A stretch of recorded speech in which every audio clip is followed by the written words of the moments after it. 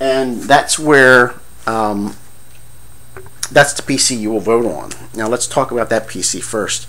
Um, that P well actually yeah well yeah that PC is where um, what you'll be able to do as a member of the International Citizens Union is a number of things as, far as voting. You'll be able to, to propose votes or propose uh, laws, create pr proposals for laws, statutes, rules, guidelines, whatever, um, however you want to present it. So you'll actually be able to propose a law. Um, you'll be able to modify an existing law, uh, once again with a proposal, and um, you can propose to uh, create new laws, which I believe the first one covers that. Um, you can propose to modify a law, and you can propose to delete a law. So basically, each you'll have the individual right to take everything you believe in, all your morals, values, you know, ideas um, for a better world, and implement them into um, the world's laws, um, you know, with your votes averaging out with everyone else's vote, which will create a worldwide system of humanitarian law. Um, so the first PC will be the voting PC, um, and that's uh, that's where the whatever proposal is uh, or proposals are um, entered uh, just mainly the proposal number. Um, the the actual uh, we probably have an, a second PC.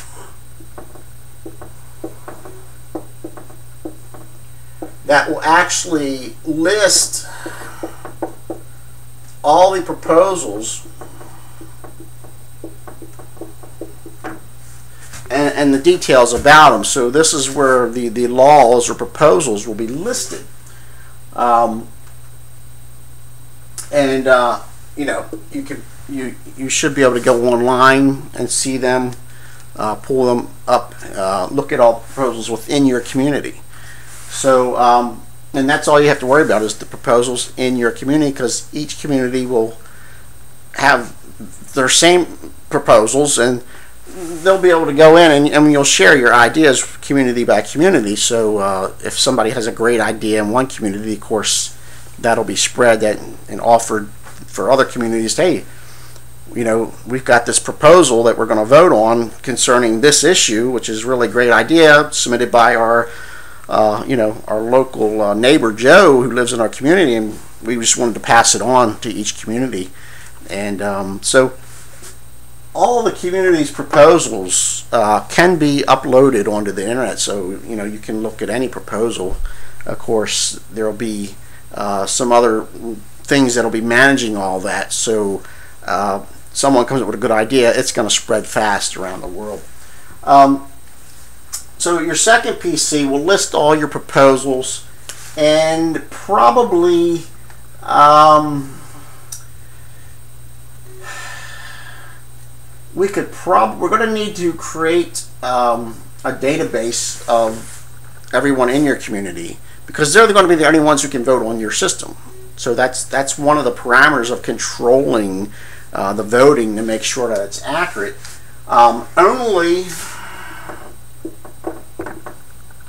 only your community members will be able to vote on your community's PC. So only your community members will be able to vote.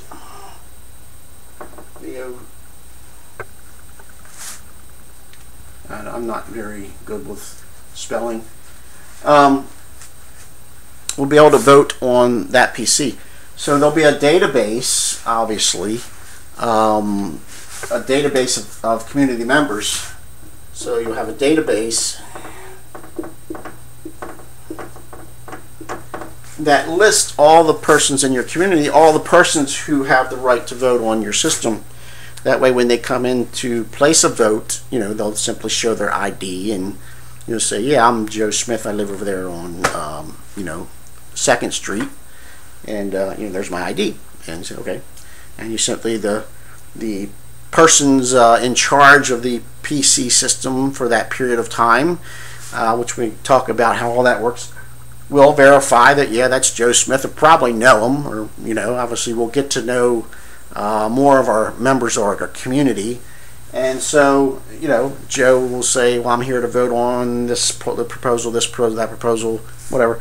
So the Joe will give his, uh, you know, probably have a, a piece of paper or something, some type of uh, sheet to fill out, and Joe will sign out that I vote yes on this proposal, no on this proposal, blah blah blah.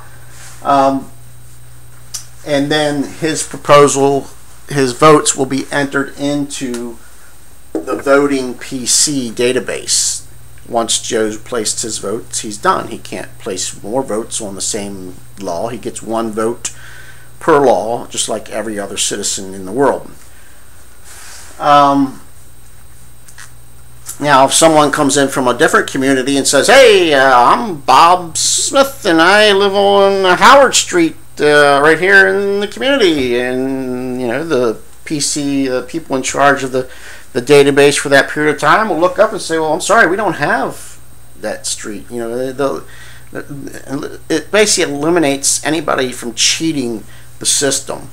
Um, the only persons who could go in and finagle uh, the PC database would be the persons who are currently have been assigned uh, to run the PC system, and of course, it wouldn't be wise to mess with the voting at that point because it would obviously only point to those who had access to the system.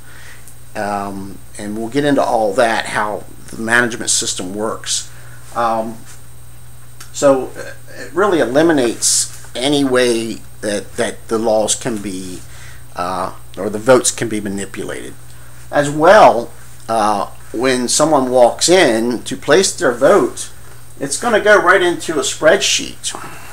And they can bring with them a floppy drive or you know any type of media that and that spreadsheet can be downloaded onto their media. So if anything changes from that point back you know once the votes have been counted and the law has been passed and Joe goes back and looks at the spreadsheet and realizes that you know from the point he came in back that it's not matching up with what he has on his uh, little thumb drive, and it obviously somebody manipulated the votes.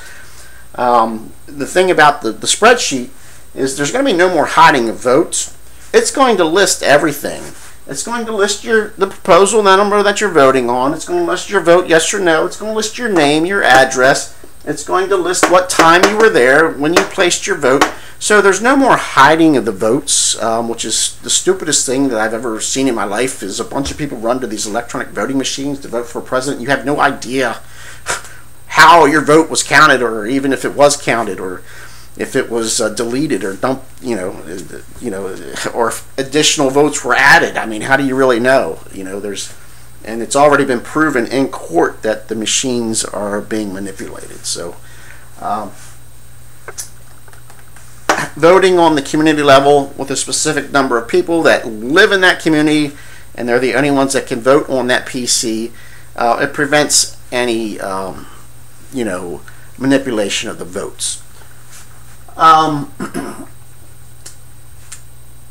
the second PC, like I said, will actually list the proposals in detail because that'll probably eventually get pretty filled up uh, with a lot of detail. And we're going to specifically discuss how the proposals are handled because um, you'll be able to modify or uh, make you know you could take an existing proposal and you may read it and you may say you know this is this this this is a good part of the proposal but this other part over here I don't like so when you go in and look at that proposal you'll actually be able to rewrite the proposal and resubmit um, your changes. Now, obviously, it would be, you know, best to go back to the person who originally created